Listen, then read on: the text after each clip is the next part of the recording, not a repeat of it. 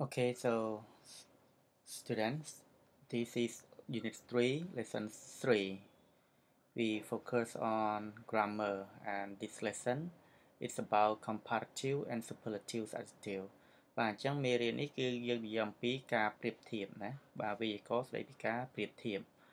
អញ្ចឹងចូលទាំងអស់គ្នាយើងរើសយកការប្រៀបធៀបដោយប្រើគុណនាមអញ្ចឹងការប្រៀបធៀបជាធម្មតាយើងធៀបវត្ថុ2ឬក៏ច្រើនបាទ ឧទាហរណ៍ A ស្រាលជាង B ឬក៏ B ស្រាលជាង C បាទមានពាក្យជាង មានពាក្យដាច់គេហ្នឹងគឺជាការប្រៀបធៀបហើយបាទណាអឺអញ្ចឹងយើងតទៀតគេថាការប្រៀបធៀបគឺមាន2បាទមាន2 scale ដែលយើងលើកយកមកនិយាយនេះបាទមិនមានតែ2តែគាត់ថាយើងលើកយកមកនិយាយតែ2 scale scale ទី1គឺការប្រៀបធៀបវត្ថុ2ឬក៏មនុស្ស2នាក់គេហៅថា comparative បាទ comparative បាទការប្រៀបធៀប ក្នុងរង្វង់2បាទ1និង1បាទណា A និង B នឹងការប្រៀបធៀបមួយទៀតគឺអង់គ្លេសហៅថា superlative ការប្រៀបធៀបមួយក្នុងចំណោមទាំងអស់បាទណាដាច់គេបាទ superlative នេះហាកម្រិតដាច់គេបាទដល់ពេល comparative គឺត្រឹមតែកម្រិត1និង1ទេបាទឬក៏ថាកម្រិតមនុស្សម្នាក់និងមនុស្សម្នាក់វត្ថុមួយនិងវត្ថុមួយបាទអញ្ចឹង សូមមើល graphic បាទអញ្ចឹង adjective ដែលយើងយកមកនិយាយនេះគឺ adjective គឺមានពីរប្រភេទគុណនាមមានពីរប្រភេទគឺគុណនាមដែលវែង long adjective ហើយនិង short adjective បាទគុណនាមខ្លីហើយក្នុងមេរៀនរបស់យើង យើងហៅគុណនាមថាខ្លី គឺជាគុណនាមដែលអានតែមួយសំឡេងហើយគុណនាមដែលវែងគឺគុណនាមដែលអានចាប់ពី2សំឡេងឬក៏ច្រើនជាង2សំឡេងឡើងទៅបាទ អញ្ចឹងគុណនាមដែលវែងហៅថា long adjective នេះបាទឧទាហរណ៍ពាក្យថា beautiful ណា beautiful យ៉ាងអាន3ម៉ាត់ណា clever យ៉ាងអាន2ម៉ាត់ interesting បាទ3ម៉ាត់ dangerous បាទ3ម៉ាត់ដល់គុណនាម short adjective វិញបាទមកអានតាមមួយម៉ាត់ទេអញ្ចឹងនេះពាក្យ short យ៉ាងអានតាមមួយម៉ាត់ទេ long smart fun cheap បាទយ៉ាងអានតាមមួយម៉ាត់មួយម៉ាត់ទេ ហេតុអីបានយើងចាប់អាចវែកញែកគុណនាមថាមានមួយសម្លេងឬច្រើន ជាងមួយសម្លេង short adjective ឬក៏ long adjective ព្រោះគុណនាមនេះកាលណាគុណនាមមួយសម្លេងនិងគុណនាមពីរសម្លេងយើងយកមកប្រៀបធៀបគឺតម្រងរបស់វាគឺខុសគ្នាបាទណាឥឡូវយើងចូលទាំងអស់គ្នាយើងនិយាយអំពីការប្រៀបធៀបជាង ការប្រៀបធៀបជាងឧទាហរណ៍ណាគាត់មានជាងខ្ញុំខ្ញុំមានជាងគាត់បាទ ផ្លូវនេះឆ្ងាយជាងផ្លូវនោះបាទមេរៀននេះពិបាកជាងមេរៀននោះបាទយើងមានពាក្យជាងនៅក្នុងនឹងបាទមានពាក្យជាងសំខាន់ជាងគេបំផុតគឺមានពាក្យជាងអញ្ចឹងអឺទម្រង់ដែលយើងប្រើសម្រាប់គុណនាមខ្លីគឺយើងប្រើគុណនាមថែម er មកបូកជាមួយនឹងពាក្យ then បាទណាគឺ er ជាមួយនឹង then បាទឥឡូវទីហោ my car ណាយើងត្រូវការ auxiliary verb មួយឬក៏ verb អីផ្សេងក៏បានដែរ my car is បាទ cheaper than your car ឡានរបស់ខ្ញុំវាថោកជាងឡានរបស់អ្នកឯងអញ្ចឹងយើងមើលឃើញទេគុណនាមនេះ adjective បែបជាប្រភេទខ្លី cheap តាមមួយម៉ាត់ទេយើងថែម er បាទនេះគុណនាមថែម er បន្ទាប់មកថែមពាក្យ than cheaper than ឡានរបស់ខ្ញុំគឺថោកជាងឡានរបស់អ្នកឯង Tom is older than Trump បាទ Tom គឺគាត់ចាស់ជាង ចាស់ជាង old ទៅជា older មានពាក្យ than older than Trump បាទគាត់ចាស់ជាង Trump students today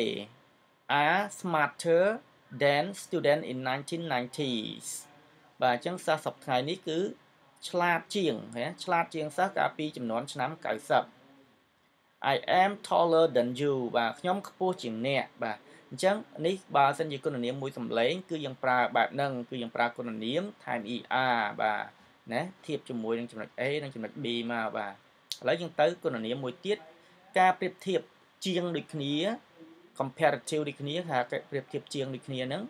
តែតម្រងដែលគុណនាមយើងប្រើគឺប្រភេទវែងទៅវិញបើប្រភេទវែងគឺពីមុខគុណនាមយើងត្រូវដាក់ more ហើយពីក្រោយគុណនាមយើងប្រើ than បាទអញ្ចឹងឧទាហរណ៍ My car is more expensive than your car បាទឡានរបស់ខ្ញុំ គឺវាថ្លៃជាងឡានរបស់អ្នកឯងគេ ដោយសារ expensive នេះវាអាន3សំឡេងបានយើងដាក់ពាក្យ more ហើយនៅពីក្រោយវាគឺដាក់ than បាទមាន more មួយនៅពីមុខមាន than មួយនៅបន្ទាប់បាទ Tom is more elegant than Trump បាទ Tom គាត់ស៊ីវិល័យគាត់ elegant ជាងជាង Trump elegant យ៉ាងអាន3សំឡេងណា lesson today are more interesting than in 1990s បាទមេរៀនសប្តាហ៍នេះគឺវាគួរឲ្យចាប់អារម្មណ៍ជាងមេរៀនកាលឆ្នាំ90ហ្នឹងហើយខ្ញុំប្រើពាក្យ more បាទហើយក្រោយប្រើពាក្យ than ព្រោះពាក្យ interesting នេះវាអាន3សំឡេងវាគុណនាមប្រភេទវែងហើយដល់ពេល crowded បាទជាគុណនាមប្រភេទវែងដែរអញ្ចឹងមានថាឧទាហរណ៍យើងនិយាយថា Seoul is more crowded than Sydney បាទទីក្រុងសេអ៊ូលនឹងគឺវាមនុស្សច្រើនជាងទីក្រុង Sydney បាទឥឡូវយើងចប់ត្រង់ចំណុចគុណនាមវែងហើយបាទបែបជាការប្រៀបធៀបជាងតោះឥឡូវយើងចូលទៅការប្រៀបធៀបដាច់ម្ដងបាទប្រៀបធៀបដាច់គេ ប្រៀបធៀបដាច់គេឧទាហរណ៍ធំជាងគេបង្អស់លើលោកតូចជាងគេបង្អស់លើលោកថ្លៃជាងគេបង្អស់បាទហាងនឹងណាថោកជាងគេបង្អស់បាទណាយើងមួយក្នុងចំណោមគេទាំងអស់នឹងបាទអញ្ចឹងឧទាហរណ៍អឺសំទោសមុនដល់ឧទាហរណ៍យើងមើលក្បួនសិនការដែលប្រើ superlative នេះទំហៀបដាច់ផុតគេនេះគឺយើងដាច់ខាតត្រូវតែមាន the មួយជាជាជាជាសំខាន់បំផុតតែម្ដងណាត្រូវតែមាន the ហើយនៅពីក្រោយគុណនាមខ្លីគឺយើងថែម est បាទសញ្ញាសម្គាល់វាគឺ the ហើយក្រោយគុណនាមខ្លីយើងថែម est ឧទាហរណ៍ដូចពាក្យ late បាទទៅជា latest tall ទៅជា tallest smart ទៅជា small ទៅជា smallest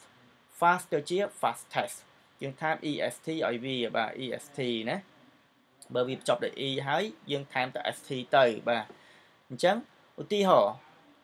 His car is the latest in Cambodia ឡានរបស់គាត់គឺជាឡានដែល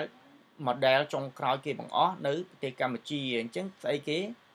ធៀបឡានគាត់ជាមួយនឹងឡានទាំងអស់ក្នុងប្រទេសកម្ពុជាបាទ is the latest ជាឡានម៉ូតចុងក្រោយគេបង្អស់ក្នុងប្រទេសកម្ពុជា Tom is the tallest student in this class បាទ Tom គឺជាសិស្សដែលឬក៏ Tom គឺខ្ពស់ជាងគេបង្អស់ បាទជាសិស្សដែលខ្ពស់ជាងគេបង្អស់នៅក្នុងថ្នាក់ហ្នឹងឃើញទេអញ្ចឹងធៀបថមជាមួយនឹងសិស្សដតីទៀតទាំងអស់តែម្ដងអត់មានដោយចំពោះសិស្សរូបណាទេ Vatican is the smallest country on earth បាទ Vatican គឺជាអីគេជាប្រទេសដែលតូចជាងគេបង្អស់នៅលើផែនដីរបស់យើង បាទឃើញទេតូចជាងគេបង្អស់ពីមុខពាក្យ small យើងដាក់ពាក្យ the ពីក្រោយពាក្យ small យើងដាក់ est ដោយសារតែ small នេះវាអានតែមួយម៉ាត់បាទក្នុងការប្រៀបធៀបបែបជា superlative ឬក៏ប្រៀបធៀបដាច់គេបាទទំហៀបដាច់ Shinkansen បាទ is the fastest train in the world រថភ្លើង Shinkansen ជារថភ្លើងដែល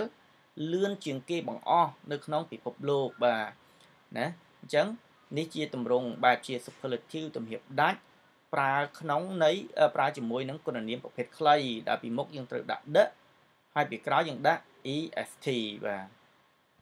ឥឡូវយើងមើលគុណនាមបែបប្រៀបធៀបដែរតែសម្រាប់គុណនាមវែងវិញបើគុណនាមវែងនៅពីមុខគុណនាម គឺយើងប្រើ the most បាទ the most បាទអត់មាន est អីទៀតទេ គឺប្រើពី the most មកគឺចប់បាទអញ្ចឹងឧទាហរណ៍ Rolls Royce is the most expensive car បាទ Rolls Royce គឺជាឡានដែល ថ្លៃជាងគេបង្អស់បាទជាឡានដែលថ្លៃជាងគេបង្អស់ណា Tom is the most clever student បាទ Tom គឺជាសិស្សដែលឆ្លាតជាងគេបង្អស់បាទឆ្លាតជាងគេបង្អស់អត់អត់រាប់ជាមួយនឹងសិស្សណាទេបាទតែយើងនិយាយជារួមសុខភាព health is the most important thing បាទសុខភាពគឺជារឿងដែលចាំបាច់បំផុតសំខាន់បំផុតបាទសំខាន់ផុតលេខនឹង Tokyo is the most crowded city បាទ Tokyo គឺជាទីក្រុងដែល មនុស្សច្រើន ជាងគេបង្អស់បាទអញ្ចឹងសម្រាប់ការធៀបបែបដាច់ផុតគេហើយគុណនាមដែលប្រើនេះជាគុណនាមប្រភេទ long adjective នៅពីមុខ adjective គឺយើងត្រូវដាក់ the most បាទគេគាត់ដាក់ the most មកបាទហើយហាមថែម est នៅខាងក្រៅទៀតណាកាលណាយើងដាក់ the most ហើយថែម est នៅពីក្រោយគុណនាមទៀតអាហ្នឹងគេហៅថាខុសហើយព្រោះយើងប្រើពីរដង ការប្រើប្រាស់គឺប្រើបានតែម្ដងម្ដងទេបាទអញ្ចឹងអរគុណសម្រាប់ការយកចិត្តទុកដាក់ជួបគ្នានៅវីដេអូកំណាយលំហាត់បាទ